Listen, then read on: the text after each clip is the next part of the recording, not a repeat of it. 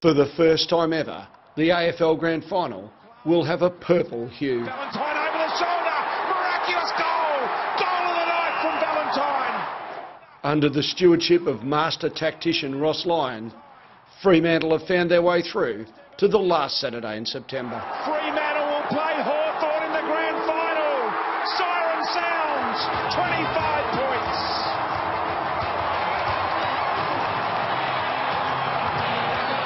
The Dockers stifled the life out of the Swans in the second preliminary final, winning by 25 points, although the final margin flattered Sydney. Ricochet ball. Walters shrug. Left foot snap goal. Michael Walters kicked a game-high three goals and also made a couple of additions to his personal highlight reel in the process. Walters. What a leap.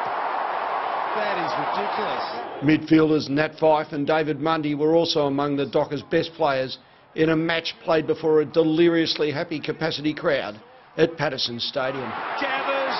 Poise.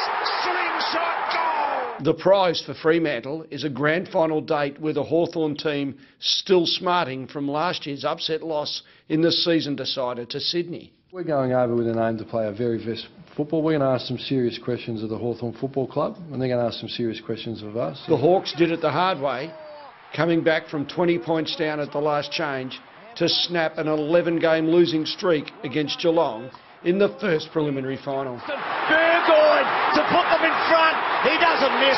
He's kicked three. Shaun Burgoyne was one of many heroes for the Hawks, either kicking or setting up all of their four goals in the final quarter. The line, Burgoyne should kick a goal. He does. But Cats midfielder Travis Varcoe still had a golden opportunity to send the match into extra time, only to miss a relatively simple shot for goal in the final minute.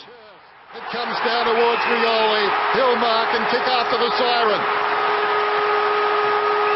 I don't think the umpire has heard the siren. It's going.